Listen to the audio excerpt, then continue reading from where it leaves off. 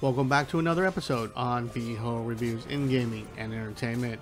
In this episode, we dive back into a series that I really never really played, but I love the art, the design, and pretty much everything behind the series except for its gameplay with Valkyrie Elysium. The Valkyrie Profile series always intrigued me in a way back when the PlayStation 1 was out with its incredible art, cinemas, and a new next-gen look that at the time was very incredible. Too bad I never really liked the gameplay to actually give the series a chance. I tried again when it came out on a PSP, but again I was very disappointed. When the PlayStation 4 and 5 version was announced, I thought it was just another trial run of the same series from Square Enix, but wanted Forspoken a lot more. Then the demo came out, and boy, am I wrong. Valkyrie Elysium was developed and to be released by Square Enix in 2022 for the PlayStation 4 and 5. The game is a follow-up to Valkyrie Profile, Valkyrie Profile 2, Silmeria, and to Valkyrie Profile Covenant of the Plume, but nowhere is this the same game.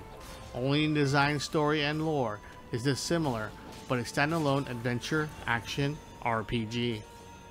The demo covers the first chapter where they quickly explain the overall story of Odin that is severely injured in a world that has gone into chaos.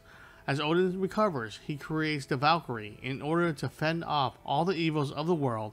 That is where the player really comes in. You take control of a Valkyrie created by Odin and is given the one mission to purge the world of evil. Travel to Midgard and purify its lost souls. Even as we speak, the stagnating souls multiply. Purification will stem the effects of Ragnarok. It shall be done as you wish, Allfather. The demo takes you on a rather lengthy tutorial where you will train on how to fight and how to use the mechanics and powers that are given to you as you travel from one area to another. You are also able to summon aid from other souls that take up your cause as well. The tutorial shows all the ways to use your powers and how to use them effectively before you play the first chapter. I found this very interesting as once I began the first chapter, I felt very comfortable with the gameplay and controls, and I, it looks like I've been playing the game for a while rather than just the first 10 to 15 minutes. Awaken, my Imperial. Leave it to me. Do not hesitate. I'll pick off the ones in the distance, too.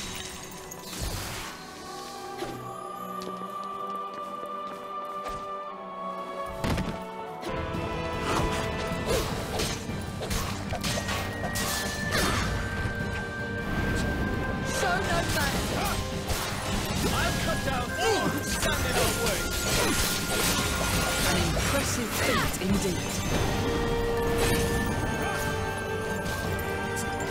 Lightning bolt. You have the.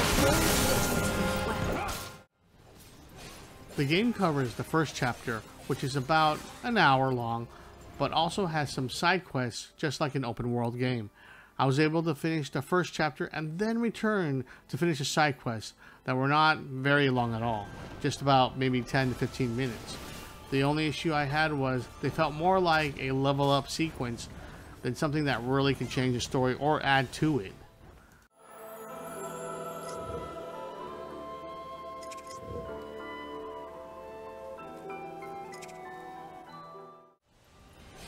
The gameplay here is pretty much fantastic, as they took a bunch of ideas from other combat fighting games and incorporated in their own style here.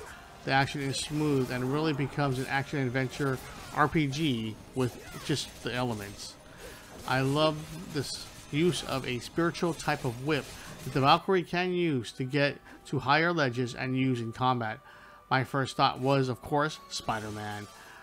I didn't really have to move as it locks onto your enemy and takes you straight there just like a web as you continue to attack and use different combos you learn. It seems very simplistic, but adding your summons, magic, and your whip, you come up with a very pleasing and responsive combat system is where I love the game the most.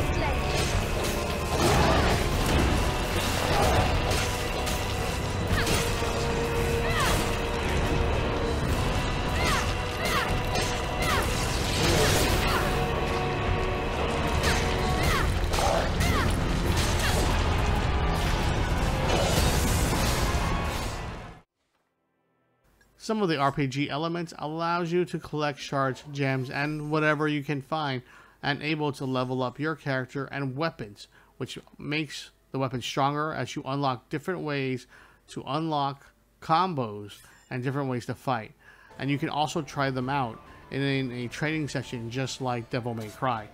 This made me want to repeat to get to the next combo with the two swords they give you and awesome to try. Both are really, really fun to use and very different as you attack and makes this game much more satisfying.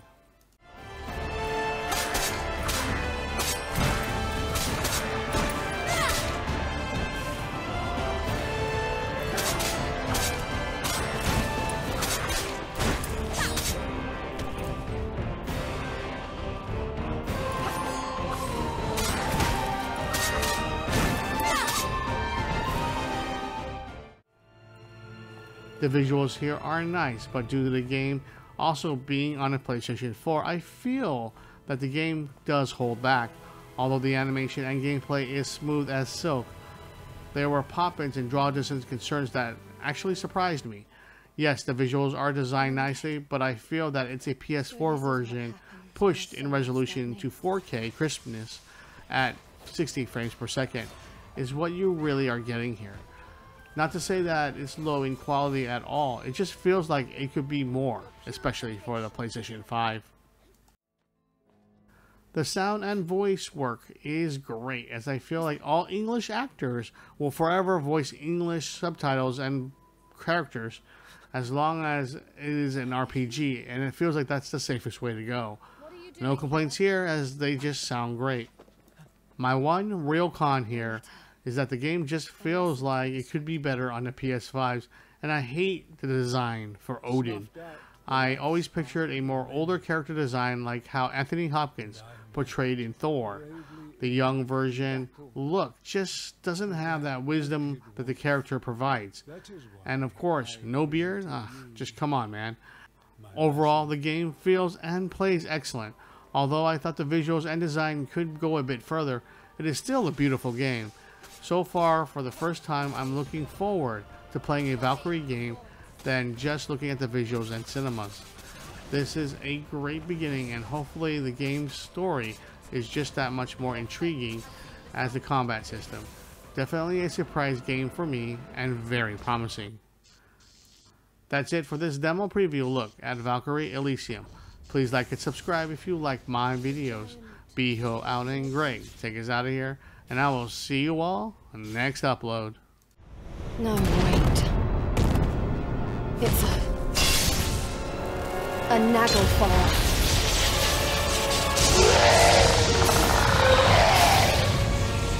Wretched soul, by Odin's command, you shall be purified. Damn.